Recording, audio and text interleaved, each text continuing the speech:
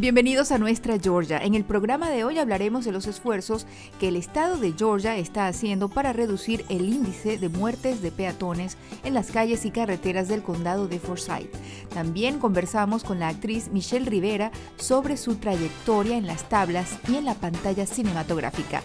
No puede perderse la historia de una madre que junto a su hijo crearon un libro para iniciar una conversación sobre el autismo y para finalizar una entrevista sobre alternativas legales que muchos no aprovechan y que le pueden ahorrar dinero y tiempo. Esto y más en el programa de hoy.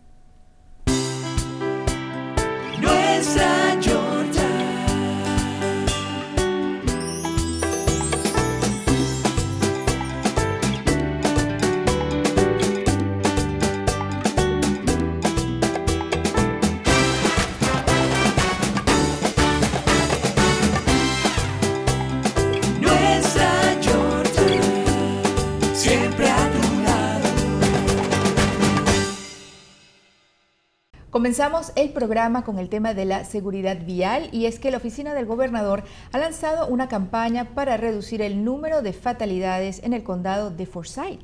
La misma se llama Making a Safer Forsyth. Y para hablar del tema me acompaña en el estudio Francisco Cepeda, quien es patrullero estatal.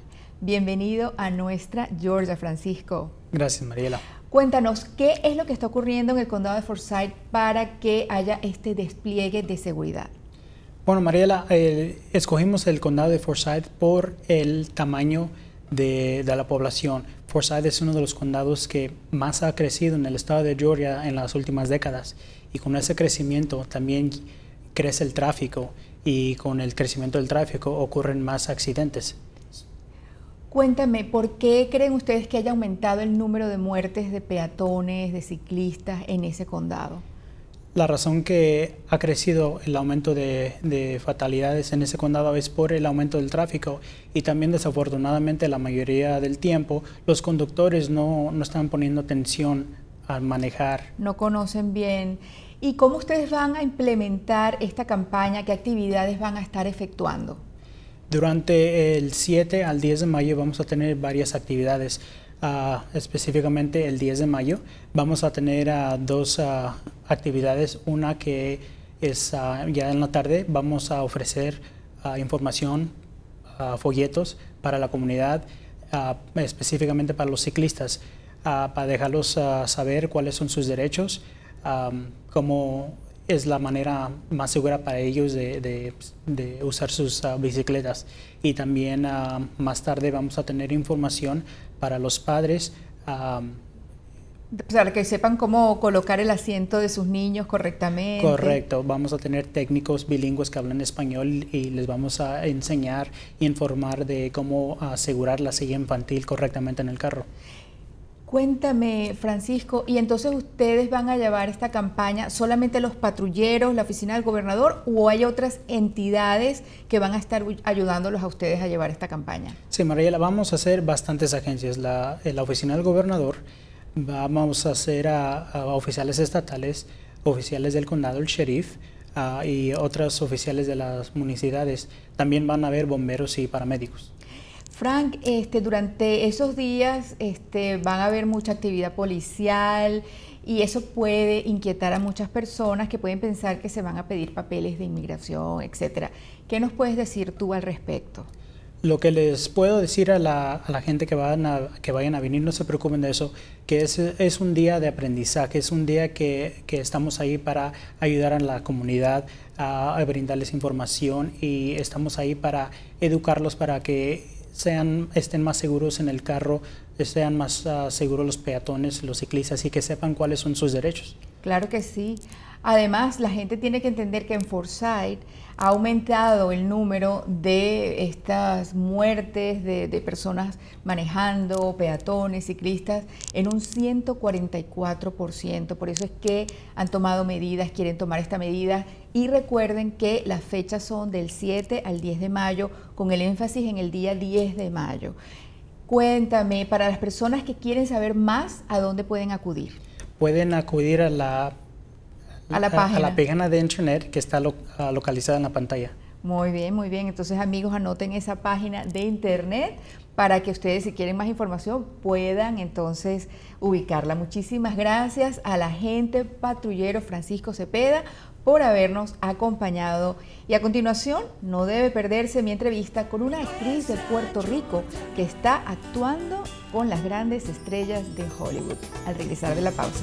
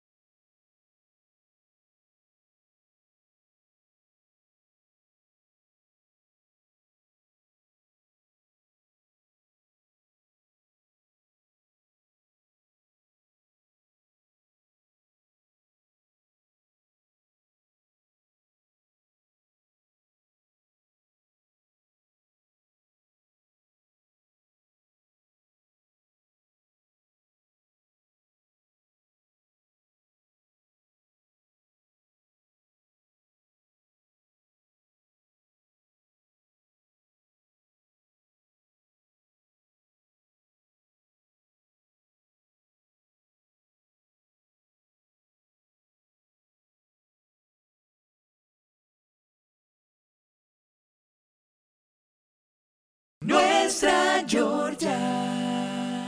Gracias por continuar con nosotros. Pasamos ahora al tema del arte y específicamente la actuación. Y es que me encuentro ahora con Michelle Rivera, quien muchos de ustedes la habrán visto recientemente en la obra de teatro Mariela en el Desierto, que presentó el Teatro del Sol en las instalaciones del Teatro Aurora en Lawrenceville. Muchísimas gracias por estar con nosotros, Michelle. Ay, gracias a ti, Mariela, por tenerme aquí. Cuéntame, ¿Cómo es tu trayectoria en el mundo de la actuación? ¿Cómo? Yo sé que comenzó desde la infancia en tu natal Puerto Rico y luego fuiste a la universidad y obtuviste una licenciatura en artes escénicas y también en finanzas.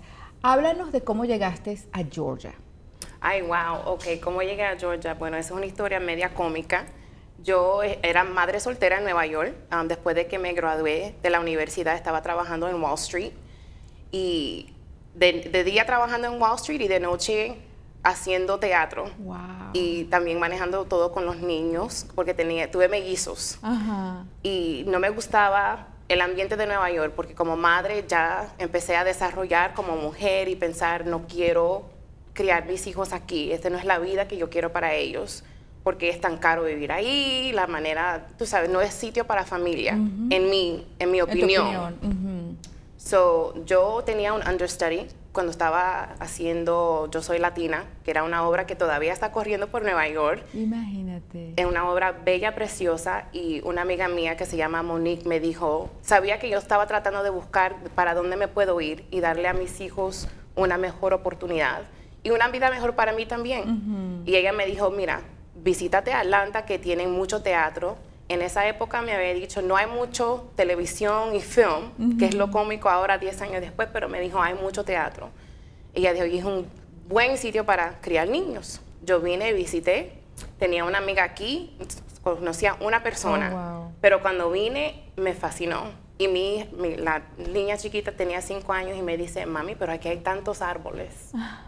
Porque en Nueva York Porque en Nueva York son puros edificios. Y cuando ella me dijo eso, mi alma, ¿qué te puedo decir? me mudé, me mudé conociendo una persona y sin trabajo.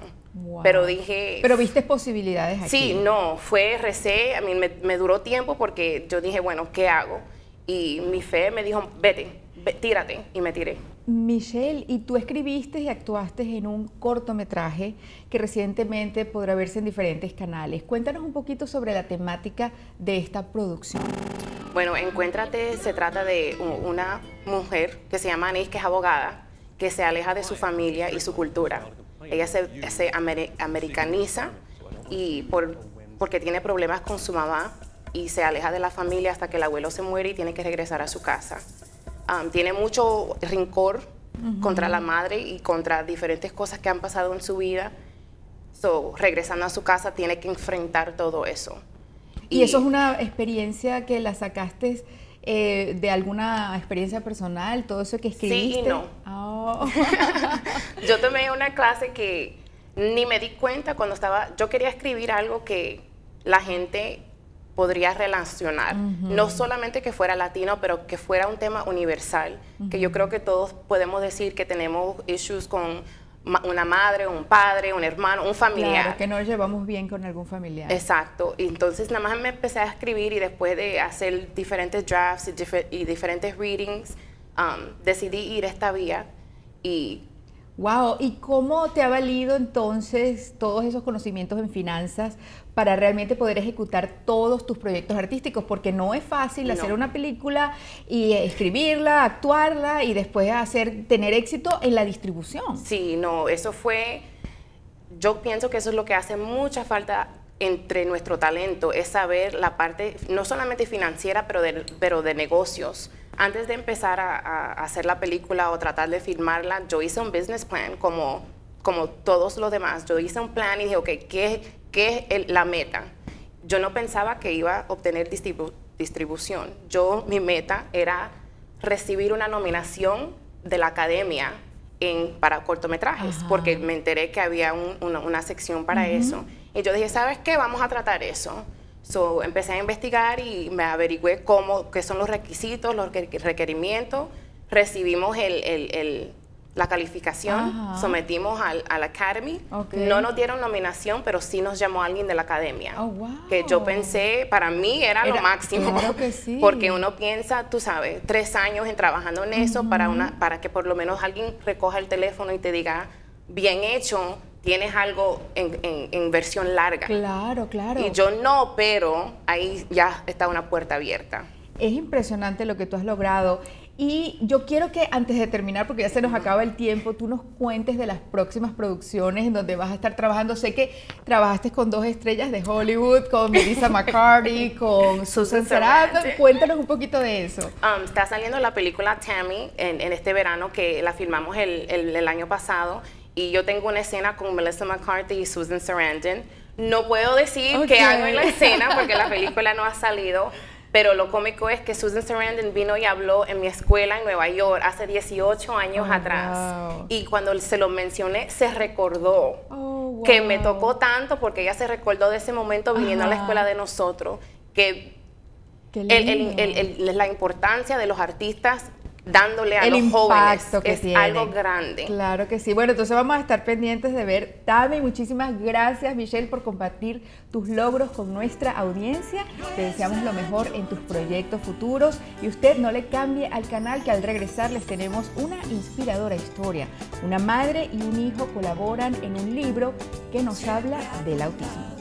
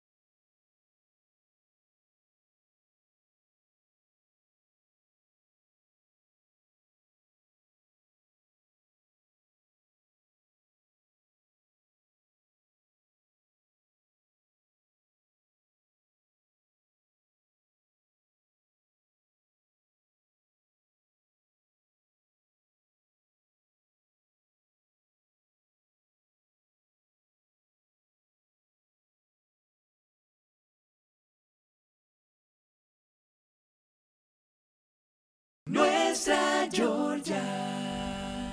Estamos de vuelta y esta vez en Nuestra Georgia trataremos el tema del autismo. Ivonne Hernández es la escritora del libro Animales, Amor y Amistad y ya van a enterarse por qué está relacionado con el autismo. Bienvenida Ivonne a Nuestra Georgia. Gracias Mariela. Cuéntanos de este libro, ¿con quién lo ilustraste? Ok, este libro lo ilustré en conjunto con mi hijo Eric. Eric tiene 17 años se los presento. Él está diagnosticado con autismo y fuimos los dos los que ilustramos este libro. Él eligió los animales, él eligió básicamente el tema de este libro. ¿Y qué es lo que quiere Eric que se sepa acerca del autismo? Mira, no sé por sus palabras lo que yo lo que él quiere que sepa, pero sí te puedo decir que lo que él quiere es que exista una mayor aceptación para los niños con autismo. ¿Y tú como mamá qué quieres que el resto del público sepa del autismo? Ok, lo que yo quiero que sepan es que estos niños tienen la misma sensibilidad, las mismas emociones, las mismas necesidades emocionales, eh, la misma necesidad de ser felices, de ser aceptados, de, sentirse alegres que tenemos cualquier otro ser humano. Ivonne, eh, la comunidad hispana, ¿cómo crees tú que toma este tema del, del autismo en nuestra comunidad? ¿Cómo se ve? Mira, Mariela, tristemente creo que todavía hay mucha falta de aceptación. Muchas veces es falta de aceptación del diagnóstico, el no querer aceptar que hay una situación. En segunda, ya que existe un diagnóstico, me ha tocado trabajar con muchas familias que no buscan informarse sobre el tema.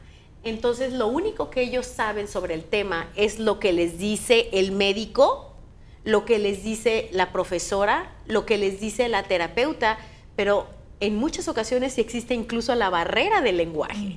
Entonces, lo que yo me entero quizá es la mitad de lo que debería de enterarme. Yo he visto videos de Eric que tú me has enviado, este, y lo, eh, imagínate con este libro, la ilustración tan hermosa y bella. Él pareciera un chico muy activo, muy sociable, en lo que yo he visto nada más del video. Eso no parece la imagen típica de un niño que tiene autismo. ¿Qué trabajo has hecho tú para que Eric llegue al punto en el que se desempeña de la manera que lo hace? Ok. El trabajo se inició en casa y lo iniciamos su papá y yo. Eh, siempre fue el, no verlo como un niño con una deshabilidad, el verlo como un niño típico que tiene las mismas posibilidades de ser el niño que, puede ser su hermano, que es un niño típico. Siempre lo incluimos en la parte social, nunca nos limitamos en ir a, a reuniones o en ir a un restaurante o en ir a una fiesta o en ir a un parque por su deshabilidad. Hubo mucho trabajo de terapias. A la fecha, él sigue con trabajo de terapias, terapias diferentes tipos. Yo aprendía de las terapeutas, yo les preguntaba a ellas lo que ellas estaban haciendo para yo poder imitarlo en casa, que eso es, Mariela, sumamente importante. Es crucial. Cuéntame rapidito la jornada que les lleva a ustedes a hacer este libro, cómo fue a publicarlo, este, hacer también la versión en español que va a estar disponible pronto y que la gente lo pueda adquirir. ¿Cómo fue toda esa parte empresarial? Oh, eso fue, eso fue muy emocionante, pero han habido muchos retos. Primero, encontrar a alguien, un agente, una casa publicitaria que me pudiera apoyar con este proyecto. Afortunadamente me topé con Rick Miller, que es mi representante y es quien me publicó el libro y ha sido mi mano derecha en muchos aspectos. Eh, el papá de mis hijos, Carlos, me ha apoyado muchísimo y gracias a él pudimos llevar a la parte de empujar este proyecto. Después, Eric hizo todos los dibujos y yo, que soy artista también, me encargué de toda la parte de los detalles de color de los dibujos. Eso nos llevó aproximadamente un año, cerca de un año, a hacer todas esas ilustraciones porque todo era con calma. Después a escribir el tema y un reto muy grande fue cuando yo vi que lo que dibujaba Eric eran animales y yo decía, ¿y ahora cómo relaciono los animales con el autismo? Entonces lo que hice fue buscar el significado de cada uno de los animales en diferentes religiones, en culturas ancestrales, en los tótems de los indios americanos, buscar sus definiciones, las características humanas que les dan y usar esas características humanas para describir lo que es el autismo. Qué belleza, qué belleza. De verdad que esperemos que la gente pueda conseguir este libro lo antes posible. ¿Lo consiguen en Amazon? En Amazon pueden encontrarlo ya en inglés y en dos tres semanas para estar seguros, ya lo podrán conseguir en español en Amazon también. Te felicito por este trabajo, de nuevo agradezco Ivonne por compartir tu historia con nuestra audiencia. Y amigos, al regresar conversamos con una experta en temas legales sobre las opciones que tienes para evitar juicios costosos Ya regresamos.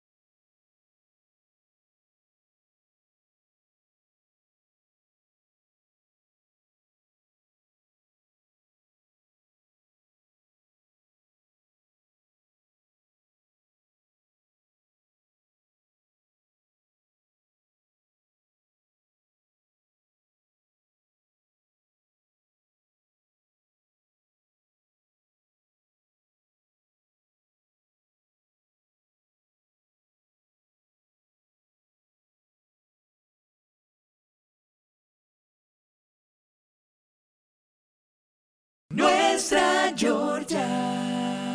¿Ustedes han oído hablar de la mediación legal? Si la respuesta es no, no se preocupe que no es el único. Muchas personas no conocen de esta alternativa permitida dentro del proceso judicial. Para ello me acompaña ahora Lilian Acevedo, quien es mediadora y es también intérprete de español certificada. Bienvenida al programa, Lilian. Gracias. Cuéntame, sé que muchos, llevas muchos años ejerciendo tu profesión como intérprete en los tribunales judiciales de nuestro estado, pero cuéntanos cómo entraste al mundo de la mediación, del arbitraje jurídico. Bueno, me di cuenta de la necesidad de tener mediadores de habla hispana como intérprete dentro de las mediaciones.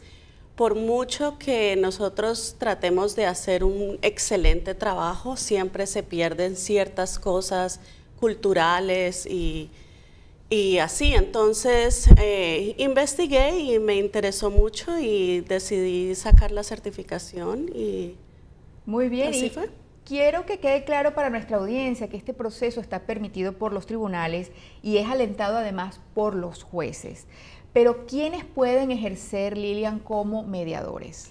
Personas que ya tengan un título universitario pueden hacer el proceso de ah, registrarse es una, una capacitación que tienes que hacer, cumplir con todos los requisitos y dependiendo de qué tipo de mediación quieras hacer, general, civil, familiar, entonces tomas la capacitación necesaria y sacas la registración con el Estado. Excelente, y háblanos rápidamente de cómo es ese proceso, un proceso típico. Eh, ¿Quién solicita la mediación cuando empieza un proceso de mediación? Ah, bueno, hay varias formas de, empezarla. Eh, a veces los jueces la ordenan, a veces los abogados em, que ya tienen sus clientes les recomiendan ah, ir a mediación o a veces las personas por su propia cuenta, en vez de pasar por el proceso típico jurídico, deciden, bueno, vamos a tratar una mediación y una negociación entre, Muy bien. Lilian, en nuestra comunidad eh, ha habido bastante perjuicio ¿no? que han causado las personas con título de notario que se han dedicado a estafar a muchas personas. Obviamente estamos hablando de un grupo reducido porque hay muchos notarios que no lo son.